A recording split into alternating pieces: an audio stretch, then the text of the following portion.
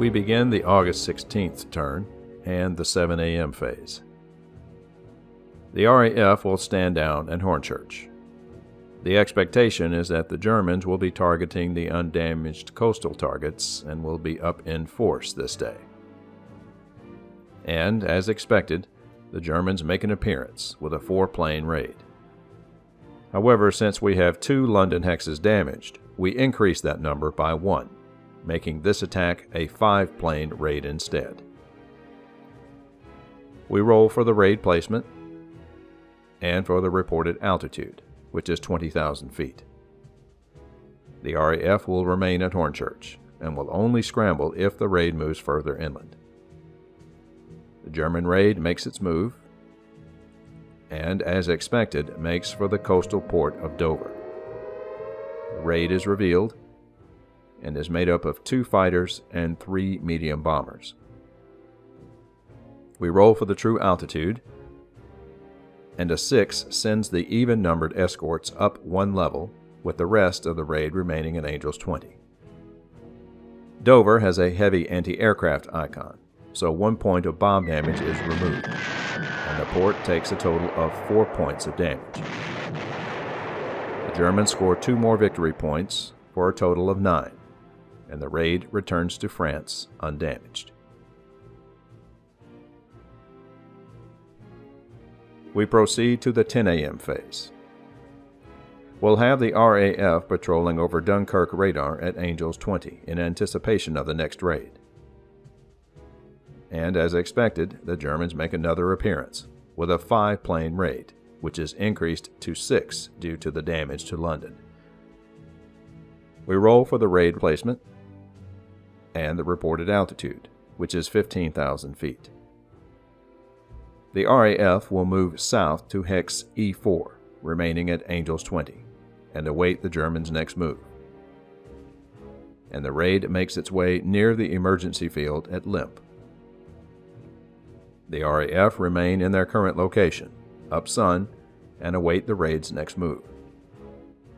We're going to need accurate intelligence on this raid in order to attack it with an advantage, so we'll wait for the raid to bomb a target unless that target is London once again. The Germans take their turn, but the raid skirts Lympne Airfield and proceeds further inland. The RAF remain at Angel 20 and parallel the raid's course.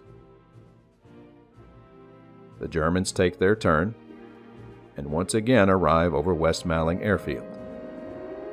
The raid is now revealed and is heavily escorted with five fighters and one medium bomber.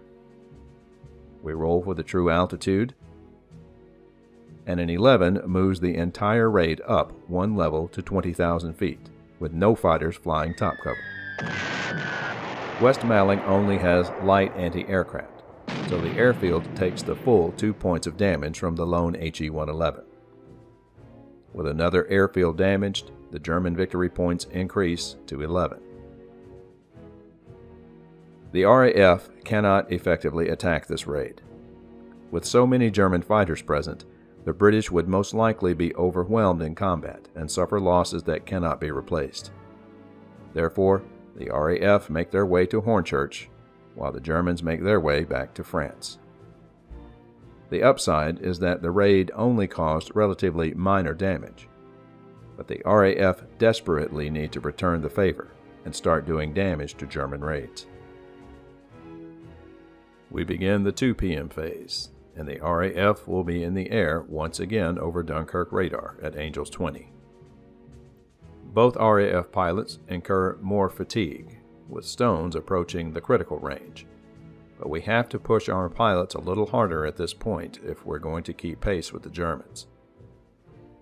And our persistence pays off as the Germans mount another raid. But it's a big one with a total of seven raiders approaching the coast. We roll for raid placement and for the reported altitude, which is 15,000 feet. The RAF moves south to Hex E5, remaining at Angel 20, and the raid makes its way to Hawkinge Airfield. The raid is revealed and consists of four medium bombers and three 109s one of which is an ace. We roll for the true altitude, and a roll of 5 keeps the entire raid at 15,000 feet.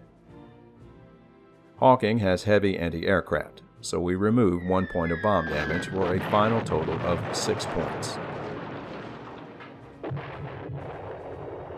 With that, the Germans score two more victory points for a total of 13. The German raid is huge, but the RAF have no option at this point but to attack. The Germans have a slight edge in defending fighters, but nothing the RAF can't handle if the die roll in their favor. The RAF remain at Angel 20 and jump the raid from out of the sun. Stone will go after the 109 Ace pilot, while Homewood jumps another 109.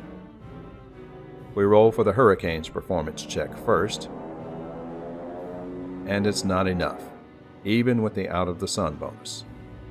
With the plus 2 added to Homewood's performance check of 8, the final score of 10 matches the 109's performance of the same number. Therefore, Homewood cannot fire. We now roll for Stone's performance check. And it's another busted intercept, with the final values being 10 for the Spitfire and 13 for the 109 Ace. And Stone fails to get into position. The German fighters now choose their targets for attack. Two of the 109s go after the Spitfire, while the third attacks the Hurricane. We roll for performance check for the 109 ace first, and the ace comes out on top with a roll of 10, while Stone rolls a 7. The 109 is allowed three bursts at the Spitfire and scores 4 out of 6 hits.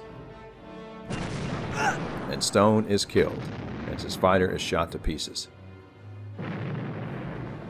We place the destroyed Spitfire in the destroyed box, and the Germans gain another victory point. We roll for a Homewood's performance check, and the 109 easily bests the Hurricane. The 109 scores a 12, while Homewood scores an 8. The 109 fires three bursts, Hurricane's frame is riddled with bullets, destroying the fighter. The Germans score another victory point, and we place the doomed Hurricane in the destroyed box.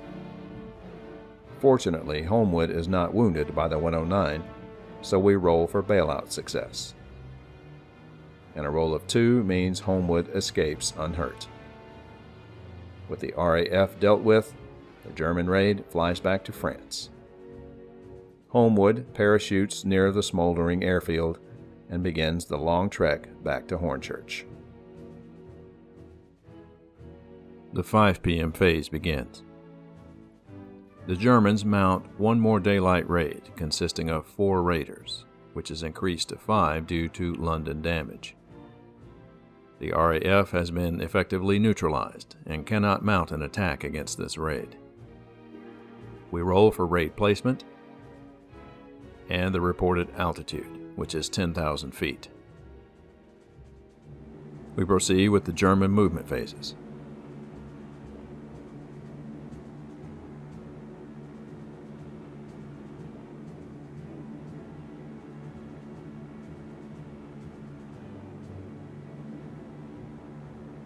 and Thameshaven is the target.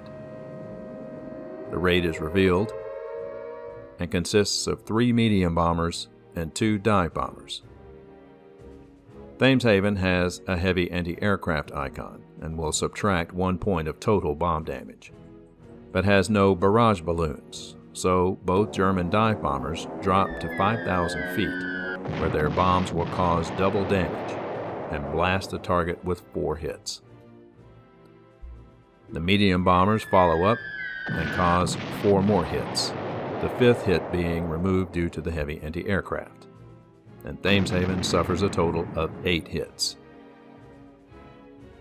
Thameshaven has been bombed, so the London's burning tracker increases to three. The Germans also increase their victory points to 17.